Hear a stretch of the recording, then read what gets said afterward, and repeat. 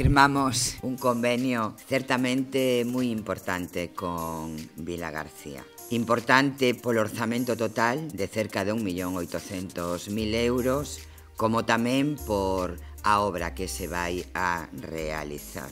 A Deputación vai aportar a este proxecto máis de 1.200.000 euros e o Concello de Vila García aportará máis de 530.000 o Concello de Vilagarcía decidiu presentar un proxecto para converter eh, a antiga sede do Liceo Casino en biblioteca.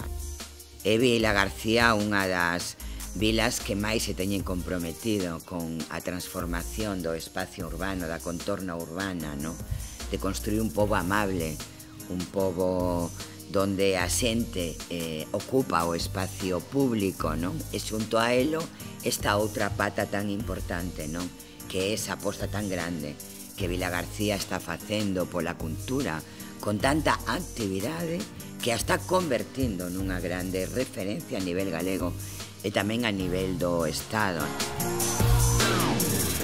Si a presidenta falaba a transformación da nosa cidade, a calle agradezo, eu creo que se ve pois nada máis dando un paseo por, por Vila García, pois eu tamén teño que decir que esa mesma transformación se ve nesta institución que a Deputación de Pontevedra e na súa maneira de traballar.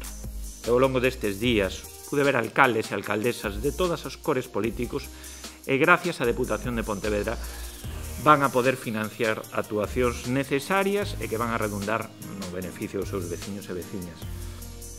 Esa liña de traballo, esa liña que debe existir a lealdade institucional. Sigamos no camiño cambiando, transformando, sendo unha referencia que eu creo que a provincia de Pontevedra e xuntos concellos nos estamos convertindo nunha grande referencia de transformación para a mellora da vida da xente.